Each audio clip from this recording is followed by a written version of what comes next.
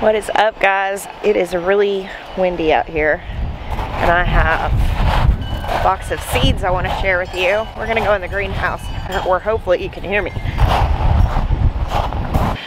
Oh, that's better. All right, I'm going to grab a chair. So another storm is blowing in. We're about to get a lot more rain and um, I'm actually gonna throw a rain jacket on here in a moment and plant in spite of that. But while I am waterproof, my camera's not, so I won't be taking you guys along with me on that.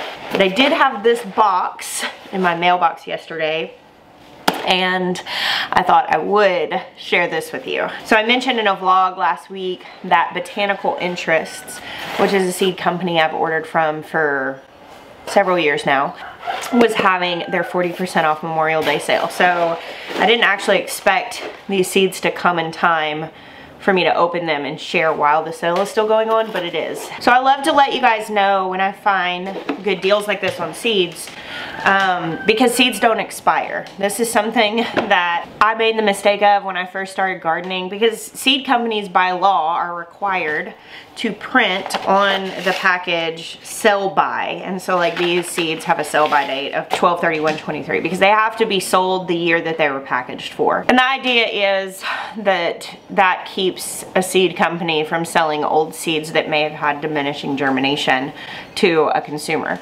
The problem is, is people see sell by dates and they think of yogurt. They throw it away and seeds don't expire. I regularly use seeds in my garden that are like several years old. I have I have seeds that are as old as 10 years that I will still use and it is true, especially if seeds are not stored properly, that they do lose germination rate as the years go on. But if you keep them in a cool, dry, and preferably dark place, like in a container under your bed or a temperature controlled storage area in your home, they can last for many years. And the worst case scenario is, is that maybe 10 years down the road, only half of the package is gonna germinate or maybe a little less than that. So you can still sow them, you just sow them a little more heavily and you'll still get something from them. So when I first got into gardening years ago, um, I bought this, this package of carrots and if you've been here very long, you've you have heard me mention the package of rainbow carrots that haunts me. Um, at the end of that season, I used my birthday money. I bought about $50 worth of seeds. I planted a lot of stuff that spring and at the end of that year, um, I threw away all the rest. I remember being really bummed to throw away this rainbow package of carrots uh, because I hadn't even opened it. And I was like, man, and it, it, it, I thought it expired. So I'm saying that not being like, hey, don't think that a silly thing. I thought that silly thing. But now we know better. We know that seeds are not dairy products and we can plant them for years, which means whenever seed companies have 40% off sales, it's a great time to stock up your seeds for the next year. And because seed companies are required to package things for the year that they're to be sold. Um, a lot of times you can get like closeout sales on seeds as the height of the season has gone on. So I'm going to show you what I, I got from Botanical Interest. I will put a link, I have an affiliate link to them. I will put a link down to below to them. I've had great success with their seeds germinating really well, being what it says on the package. One of the things I really like with the way they package their seeds is they have a lot of really comprehensive information on the package. Uh, one of my favorite things they do is they actually put a little picture on the back of all of their seed packages that show what the plant looks like in seedling form. Um, you've been gardening for very long at all, you recognize seedlings because you've grown them enough, you've been introduced. But for new gardeners, it's really overwhelming sometimes whenever you plant a bunch of seeds and then a bunch of stuff starts coming up and you don't know what's a weed and what it is that you planted. So having an image there that you can compare and see what is coming up uh, so you can confidently pull weeds out of your garden, I find that very valuable. So someone might ask, Jess, do you really need seeds? No, I don't, but that's not what we're talking about right now. I do have a lot of seeds. I still like to buy them whenever I find a really good deal. Sometimes it's just for preference, having something that I haven't tried. Sometimes it's just for ease, um, having lots of something rather than uh, necessarily having to wait until I can save it. But more than anything, it really is just for the sake of variety and I like supporting businesses like this and sharing with you guys. So I'm just gonna go, these. I don't think these are in any sort of order. I got a lot of flower seeds. Um, here is the drop dead red variety of flowers. This is a big pack. I think this is the only large pack I got. The rest are the smaller ones. I have grown this variety before, really love it. In fact, this is the variety of sunflowers that I grew the last year that I was in Arkansas and some of them came up so dark dark red that they looked almost black. That was my my year with all the black flowers so I was leaving my garden so anyway, I love that variety of sunflowers. They're really beautiful. Um, okay, so I ordered this little package of Tulsi basil seeds, which when it came and I saw it, I just started laughing at myself because I have like eight jillion volunteer holy basils currently in my garden. So I really don't need this package of seeds, but that it was like a dollar and I saw, it, oh, I like that. And just didn't think about it. So um, next, True Gold Sweet Corn think, did I get than one of these? One of the things that I'm dealing with in my big garden this year is this is my first year to ever have this much space and figuring out what I'm planting when has been somewhat of a challenge. Now I have a good deal of like a golden bantam sweet corn already planted. I think I'm gonna wait a couple of weeks. If you're planting multiple varieties of corn, you can just stagger the planting two or three weeks in between them to keep cross-pollination from happening, which when there are similar types of corn, like it's both sweet corn, it's probably not that big of a deal. Uh, but but I'm gonna wait and I'm actually thinking about planting this in one of my raised beds that um, I'm gonna be taking onions out of. So that's why I went ahead and got these. I will note while I'm talking about seeds lasting a long time, there are a few things that lose germination rates faster and corn is one of them. Corn, I think onions, and I've heard people say that about carrots, but I have planted like few year old carrot seeds successfully before. So um, I'm not 100% sure on the truth of that with carrots. I do know for sure though that corn does tend to lose some germination quicker. If you are buying corn seeds for the next year, if you want to help preserve the germination rate, you can always stick it in your freezer and then uh, pull them out of your freezer when you're ready to plant. I don't actually think that storing seeds in the freezer is necessary um, in most cases. I, I don't I have way too many seeds and not enough freezer space to do that. But on things that you know, like corn can lose germination rate quickly, um, it you know, it doesn't hurt anything to go ahead and put that in the freezer. So this package is gonna go in one of my raised beds. All right, I got several things of different kinds of bush beans. So here's like uh, French filet bush beans. I love really thin, tender green beans. I, I'm not a huge fan of the really thick, meaty ones that sometimes are stringy. I like the thinner ones. So I saw that as well as this Ferrari bush bean, um, also described as sleek and slim. I do tend to like that. I got a package of Green Globe improved artichokes. Now these, this is the variety of artichokes that we currently have growing in the high tunnel. Um, started from Botanical Interests seeds. They've done amazing. We have harvested artichokes to our heart's content, but I'm thinking about potentially starting some more plants and taking those out and seeing how they do somewhere else because they got really big and where I currently have those it's hard to pull the wall down on the high tunnel which is kind of problematic. And I don't know how moving those is gonna go. They might have some pups that come off of them that I can move, but I went ahead and grabbed another package of seeds because I figured we could start some plants and it wouldn't be such a big deal if we lose those. Uh, these are Orient Wonder Beans, which is essentially like a noodle bean. It's a different variety. It's named a different variety. I was just curious if it is similar to the red and green noodle beans that I've been growing. Um, I probably won't start these now because I've already put some Thai soldier beans out here, um, which are like squeaky oriental beans. But I did want to try these, so this will just go in the seed collection for later use. So I grabbed several packages of sweet peas. I've been picking my sweet peas lately and um, enjoying them very much. Loving the smell.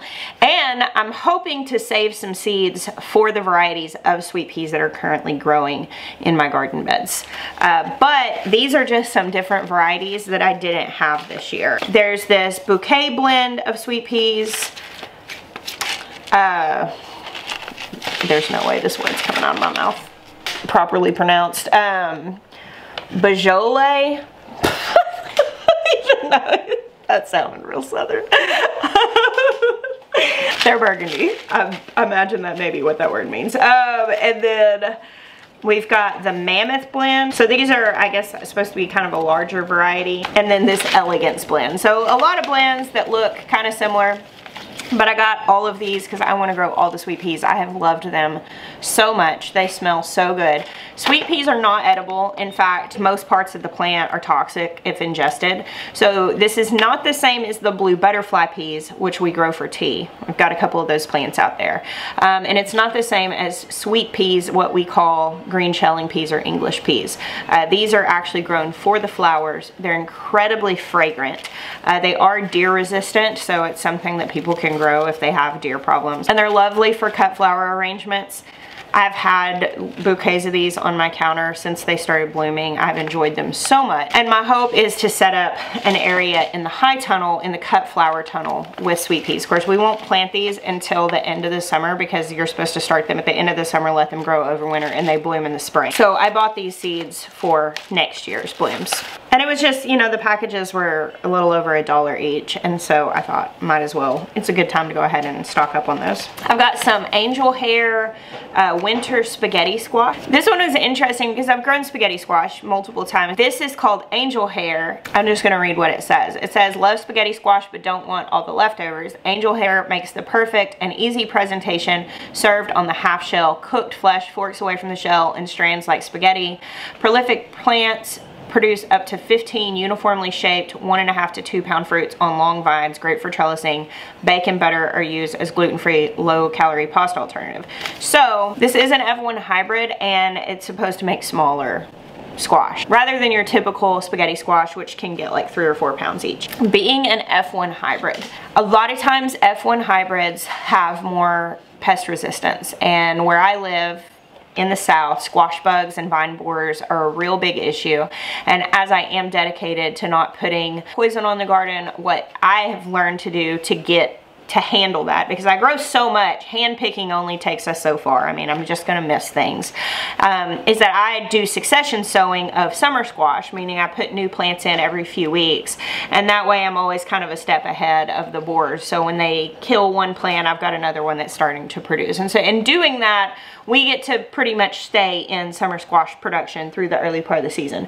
Winter squash is a little harder though because it needs 100 plus days. What does this say? 88 days being a smaller variety. But usually it needs about 100 days and that means I have to keep the plant alive for 100 days until those fruits are hardened and ready to be stored. When I saw this, that it was a smaller and shorter variety, that gives me uh, more of a chance of getting a harvest because I can keep plants alive for shorter periods rather than longer. But also my hope was with it being a hybrid that it may have some sort of resistance to the pest that the heirlooms kind of struggle with a little bit more. Love growing heirlooms, love the story, love the variety, but sometimes there is a place where hybrids can add benefit to your garden and I felt like this might be one of them. Here's a little seed starting guide that Botanical Interests put in with all of their stuff. That's why I say I like how much information they give. A thank you package of lettuce that came for free. Let's see, I got some Cosmos, Diablo. These are like a yellow and orange. All the Cosmos I currently have growing in the garden are shades of pink. It just worked out that way. That's the seeds I had. And so when I saw these, this is what I had all over my old farm. And I figured I'd take those and kind of scatter them about. A black-eyed Susan vine, also just adding some of these colors into the garden. I have a trellis that um, in the cottage garden that I think that this would be good on. So I got a couple other types of sunflowers. This is an Elves blend, which is a dwarf sunflower as well as the teddy bear dwarf sunflower. I like throwing these varieties into raised beds because they only get a few feet tall and so it can add little color here and there. Um, these are great for cutting and making little bouquets. So a lot of times what I'll do when I put a little section of sunflower in a garden bed just to add diversity is I'll like nine seeds in a block knowing that when they all come up they're going to open up around the same time and I can cut those and have one good bouquet and as they're growing um, Sometimes they'll cast shade on other things, which can be a real benefit if you live in a very hot place. When they open up, obviously it makes the pollinators really happy and then I can cut the heads and have a bouquet. Or I can leave them and just enjoy them growing in the garden. That also works. All right, I got a couple of different types of uh, carrots. The little finger and the scarlet uh. Both of these work well uh, where I live. So with buying carrots right now, I will not plant these right now. It's too hot. Carrots grow great over the winter where I am in zone 8, South Carolina. Um, and previously where I lived in Arkansas, fall sowing carrots is really kind of where it's at. So I grabbed these to be able to put in probably the high tunnel um, around August. And I will cover the soil with a board. I'll put these in the ground, cover it with a board, which is gonna help them germinate even though it's probably gonna be hot. The high tunnel has shade cloth and so that kind of will help bring the temperature down to help them germinate. And then once they're up, it'll be pretty solid and the weather should break shortly after that, cool off some, and they'll grow over the winter and we'll be harvesting them early in the spring, eh, mid-spring. I'm just harvesting carrots that were sown in the high tunnel last fall right now. Also got beets, a few different types of beets. I got Chioggia, um, Touchstone Gold, and then this is a mix, Gourmet Blend, which has a few different varieties. So if you think you don't like beets, um, and all you've ever had is like the dark red ones or even the um, Chioggia, which is the stripy ones. If you have not liked the earthiness of those, I highly suggest trying a golden beet. Um, so beets taste that way. People say beets taste like dirt. Um, that's not really a euphemism of like that tastes like dirt as in that tastes bad they literally do taste like dirt because they have a chemical compound in them called uh, geosmin it's the same chemical that exists in the soil that makes that smell after the rain you know that that earthy smell that fills the air up on a humid afternoon after it rains. That's the geosmin in the soil being released out into the atmosphere, into the air. And beets have that same chemical compound in them. Um, so when people say this beet tastes like dirt, they're tasting the geosmin and um, we associate that with dirt because it does exist in, in the soil. Uh, however, some varieties have less and golden beets typically have a less earthy taste because they have lower levels of geosmin. Like I like beets. Um, I'm learning to like beets more. It's kind of like this thing. It's kind of this thing that I've just decided, like I'm going to learn to do beets really well. We've had some roasted beet salads here recently, eating at like local farm to table restaurants because of course it's spring beets people are harvesting beets it's that time and they've been wonderful those salads have been so so good and i just want to to nail this i want to figure out how to get that at home. So I'm growing a few different kinds. I think harvesting them young is the key, but this is a great kind of seed to buy right now in the winter, planning on growing in the fall because you're gonna need to start these in like, in a lot of places in August. Now beets are frost hardy so they can grow past when it freezes. And so it's a good thing to get started at the end of the summer to grow into the fall. Um, I grabbed a package of California Giants blend zinnias. Literally, this was a dollar. Um, I have lots of different zinnia seeds, but this is a really great mix. The flowers get to be about this big, um, giant head. And the plants get, if you, if you have healthy soil, these plants will be about four or five feet tall and just full of blooms. You can cut them and they'll keep producing. So that's a really good one to have. And once you put it in the garden, you'll always have it if, if any of it goes to seed. Oriental Nights alyssum. I've recently talked about how I love to plant alyssum underneath trellises um, especially like TP trellises because they make a great living ground cover. They are a plant that is going to survive the frost, so this is a good one to buy to start later in the summer because it's going to stay green after everything else freezes, and they'll even bloom. They'll continue to bloom if your days are warm um, after it freezes. This is low growing, it has a delicate fragrance. Alyssum is a brassica and therefore it is edible. I don't really like to eat it because it's really strong. It tastes like funky broccoli, but it is pretty and the bees like it, so that's why I grow that. Uh, the last thing I have here is a package of Easter egg radishes. Again, this is something that's probably a little warm to sow right now, but in a few months I'll be able to put those in um, and kind of dance that line